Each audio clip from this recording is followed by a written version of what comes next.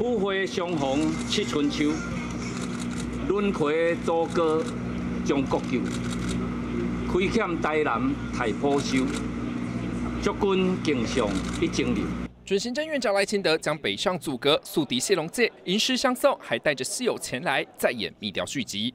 密雕上行政院长，一贯故乡东山的回民，哦，希望也当轮流主席，到立法院，哦，会当好好表现。多谢。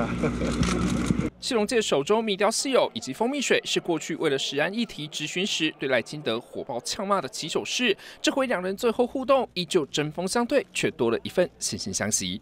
坦白讲，我的感觉失落的是讲，正段看来，盖成无人搁再达底咱个背剑吼，就是讲会当像伊遮尼啊可敬的对手啊，现在看起来是无啦。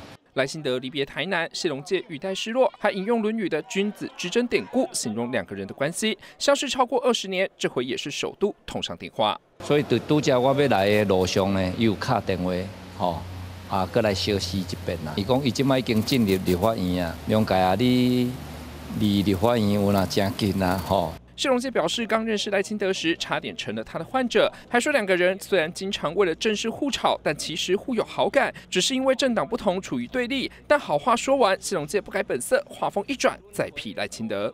你的任期啊个存在，是你放杀台南，所以你需要修补。啊，等议会有完会当质询行政院长，你唔是质询代理市长。一生只监督赖清德一人的谢龙介，在赖清德北上之后，暂时少了舞台发挥。网友也希望谢龙介未来能够选上立委，让两个人能在立院再次相会。记者纪博士陈昭虎 SNG 小组台南报道。